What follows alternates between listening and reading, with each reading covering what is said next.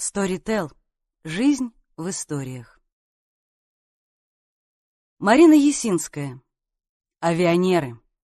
Лестница героев. Читает Нона Троиновская. Глава первая.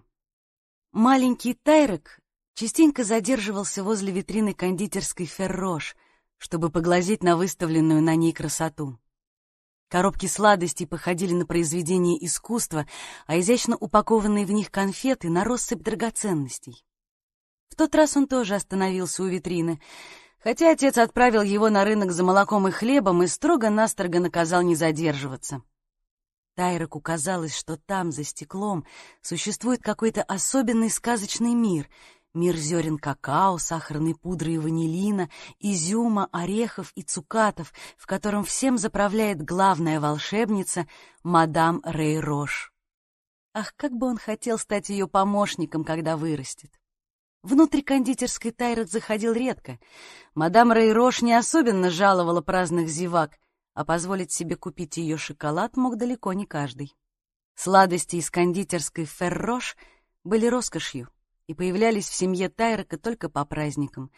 Да и тогда ему удавалось полакомиться лишь парой конфет, все остальное он украдкой передавал младшей сестре. Тайрок очень любил шоколадные конфеты, но то выражение бесконечного счастья, которое появлялось на перемазанном личике Иды, стоило того, чтобы отдать ей свою долю. «Не подскажешь, какие конфеты здесь самые вкусные?» — услышал Тайрок рядом с собой мужской голос. На него с улыбкой смотрел незнакомый, хорошо одетый джентльмен. Тайрек никогда его раньше не видел. Не то чтобы он знал в лицо всех жителей их небольшого города. Хотя на первый взгляд этот мужчина выглядел точно так же, как и все остальные джентльмены. Узкие брюки и сюртук, аккуратный узел шейного платка, ухоженные ногти и напомаженные волосы. Было в нем что-то неуловимое, что выдавало приезжего. То ли необычный перстень, с крупным зеленым камнем, то ли шелковая белая подкладка на черном фрачном плаще, то ли слишком заметный загар на лице. Бледность тогда была в моде, и джентльмены старались оберегать свою кожу от солнечных лучей.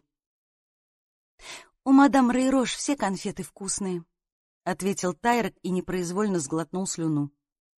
Входная дверь кондитерской открылась, выпуская волны густого аромата свежего шоколада — а вслед за ним модно одетую покупательницу со своим спутником, который с довольным видом держал в руках подаренный ему шоколад. «Прямо-таки все», — с лукавой улыбкой переспросил незнакомец. Улыбка почему-то не отражалась в глазах, и это Тайрока несколько смущало. «Не знаю», — тем не менее честно признался он.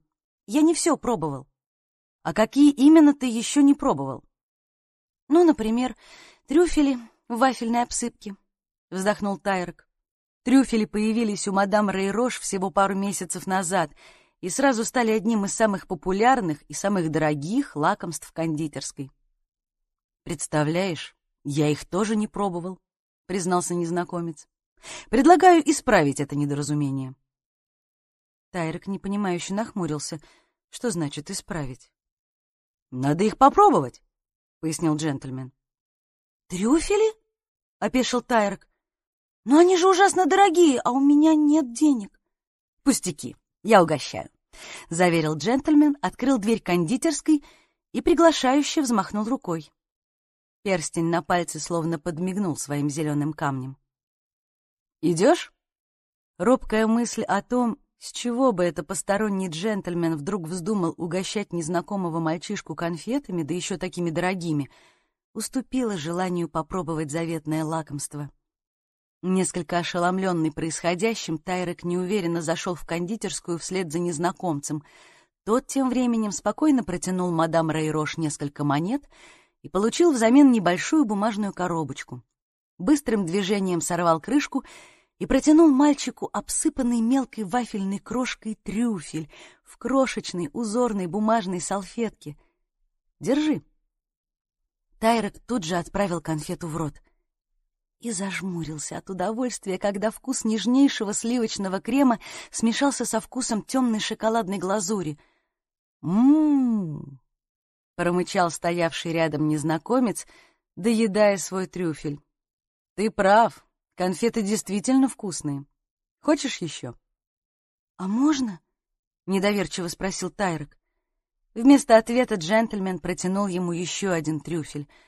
«Спасибо», — поблагодарил Тайрек и бережно зажал неожиданный подарок в ладони. «Ты что же, не будешь его есть?» — удивился незнакомец. «Нет, сестренке отнесу», — мотнул головой Тайрек. «Какой хороший мальчик», — похвалил его джентльмен. Улыбка по-прежнему не отражалась у него в глазах, но сейчас Тайрек это уже не беспокоило. После такого роскошного подарка он проникся к незнакомцу симпатией. А тот, похоже, тоже был настроен весьма дружески, потому что продолжил расспросы. «Твоя сестра, наверное, младше тебя?» «Младше», — кивнул Тайрек.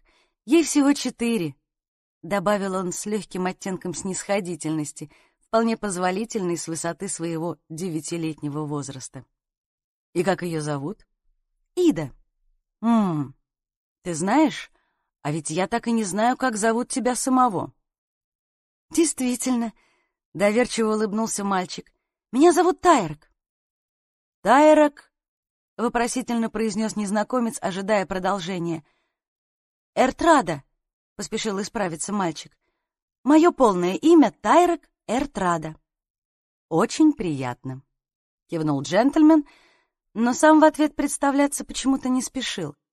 «Ты же наверняка живешь где-то неподалеку?» «На улице ночного ветра, это всего в паре кварталов отсюда», — махнул Тайрек рукой, указывая направление. «Что ж, спасибо», Поблагодарил его незнакомец и весь как-то подобрался, словно внезапно куда-то заспешил. «Ты мне очень помог». «Правда?» — удивился мальчик. «Конечно. Если бы не ты, я бы никогда не попробовал самые вкусные шоколадные конфеты в городе». Только дойдя до рынка, Тайрок понял, что так и не узнал имени незнакомца. Впрочем, какая разница? Когда случаются чудеса, вовсе не обязательно знать, кто именно за ними стоит. Нужно просто принимать их с благодарностью. Тайрек расплылся в улыбке. А уж как обрадуется Ида, когда он угостит ее трюфелем. То, что случилось что-то нехорошее, Тайрек понял, едва только повернул на свою улицу. Все выглядело точно так же, как обычно — но непонятно откуда взявшееся предчувствие беды не проходило. Напротив, оно только усилилось, когда Тайрек увидел, что дверь в их апартаменты приоткрыта. И когда понял, что изнутри не доносится привычного щебета Иды. «Папа? Мама?» Позвал Тайрек, осторожно приоткрывая дверь и боясь, что ему никто не ответит. Но ему ответили. Твою семью перевезли в безопасное место, Тайрок. Услышал он мужской голос, который показался мальчику смутно знакомым, и в кухонном проеме появился высокий темный силуэт. Свет падал из-за спины, и Тайрок, как ни старался, не мог разглядеть лица незнакомца. «В какое такое место?» — спросил он дрожащим голосом. «На родину твоей матери, на третий континент. Тайрек не сразу понял, что раздавшийся совсем рядом стеклянный грохот издала бутылка молока, которая разбилась, когда сумка с продуктами выпала у него из рук. «Какую еще родину?» — растерянно прошептал он. «Тайрек, не глупи. Твоя мать — тайный агент третьего континента». Тайрек покачал головой, отказываясь верить в услышанное. «Нет, — не может быть. Его мама, всегда такая добрая, пусть и строгая иногда, не могла быть шпионом. А незнакомец продолжал говорить, то ли не замечая, что каждое его слово все больше разрушает мир Тайрока, то ли просто не обращая на это внимания. Она находилась здесь на задании — произвести на свет ребенка, урожденного гражданина Арамантиды, который впоследствии сможет пройти любую проверку и проникнуть в любое учреждение империи. Тебя. У Тайрека внезапно пересохло в горле. Слова незнакомца не до конца проникали в его сознание. Сейчас мальчика больше всего на свете интересовало лишь одно — «Я их еще увижу?»